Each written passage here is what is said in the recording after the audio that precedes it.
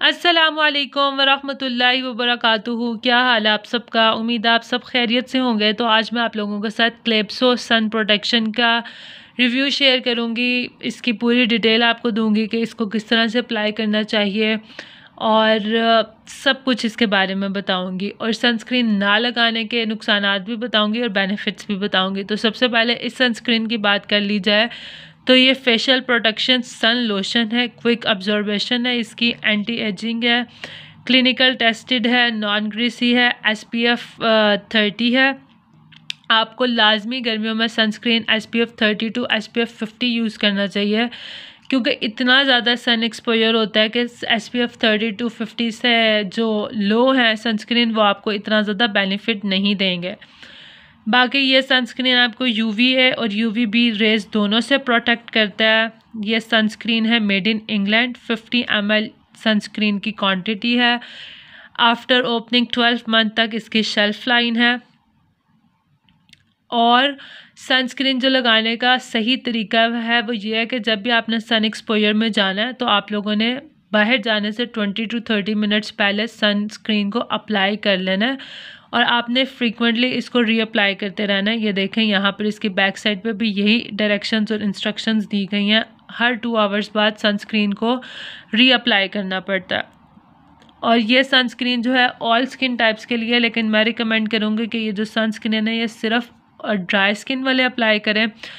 क्योंकि oily skin वालों को ये मेरे ख्याल से ज़्यादा सूट नहीं करेगा। मेरी स्किन एक्सट्रीमली ड्राई है। उसके बावजूद भी जब मैं बाहर जाती हूँ तो मेरी स्किन पर ऑयल आ जाता है गर्मी की वजह से। बस स्वेटिंग होती है ऑयल आ जाता है तो ये थोड़ा सा फेस पे शाइन करता है। अगर आपकी स्किन ऑलरेडी ऑयली है, आप बाहर गर्मी में जाएँगे तो मे बी ये ज़्यादा शाइन करेगा और आप लोगों को अपना फेस लुक अच्छा नहीं लगेगा। तो इस वजह से ये सिर्फ़ और सिर्फ़ ड्राई स्किन वालों को अप्लाई करना चाहिए।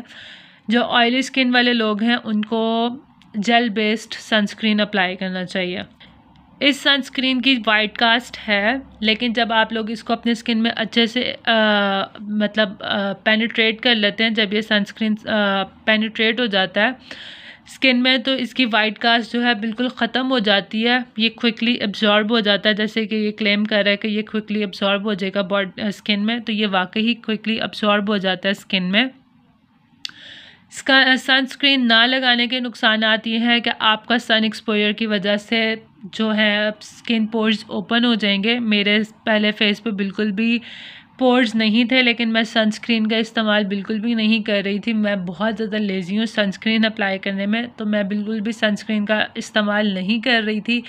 जिसकी वजह से मेरे सारे स्किन के पोर्स ओपन हो गए हैं, क्योंकि मैं बाहर बहुत ज़्यादा जाती हूँ सन एक्सपोजर की वजह से तो मेरी स्किन बहुत ज़्यादा डैमेज हो गई है। इसी वजह से मैंने दोबारा से सनस्क्रीन बाय किया है, ताकि मैं अपनी स्किन को दोबारा से हील कर सकूँ और प्रोटेक्ट कर सकूँ। तो जो सनस्क्रीन है, ये आपके पोर्स को ओरिजिनल हालत में लेकर आता है, जो आपके ओरिजिनल स्किन टेक्सचर है, उसमें लेकर आता है। और आपकी हेल्प भी करता है कि आपका ये स्किन पोर्स को ओपन नहीं होने दे, और कम से कम विजिबल रखे। मतलब ये जब आप अपने स्किन को प्रोटेक्ट रखेंगे सन एक्सपोजर से डर्ट से पोल्यूशन से तो आपके जो पोर्स हैं, उनका साइज़ श्रिंक रहेगा, वो ज़्यादा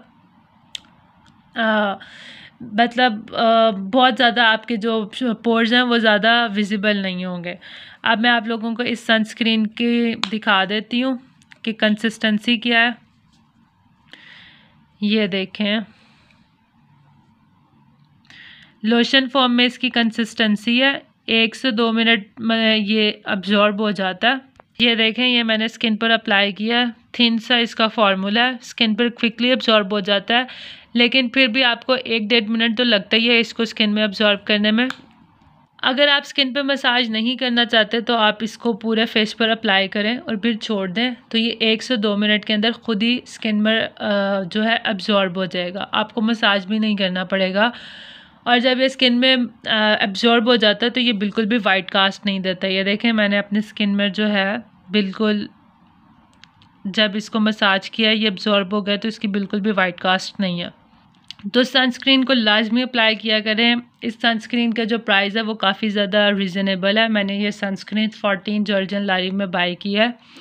मुझे ये सनस्क्रीन डिस्काउंट में मिला, इसकी जो ओरिजिनल प्राइस है, ये नाइनटीन टू ट्वेंटी जॉर्जियन ला रही है तो ये सनस्क्रीन काफ़ी ज़्यादा रीज़नेबल है। अदरवाइज़ जो दूसरी कंपनी का सनस्क्रीन है, वो बहुत ज़्यादा एक्सपेंसिव है। तो ये सनस्क्रीन मुझे अच्छा लगा है ऑल ओवर पसंद आया मुझे ये सनस्क्रीन तो ये सनस्क्रीन रिकमेंडेड है। आई होप आप लोगों को ये वीडियो अच्छी लगी होगी। Like subscribe and share thank you so much for watching अल्लाह हाफिज़।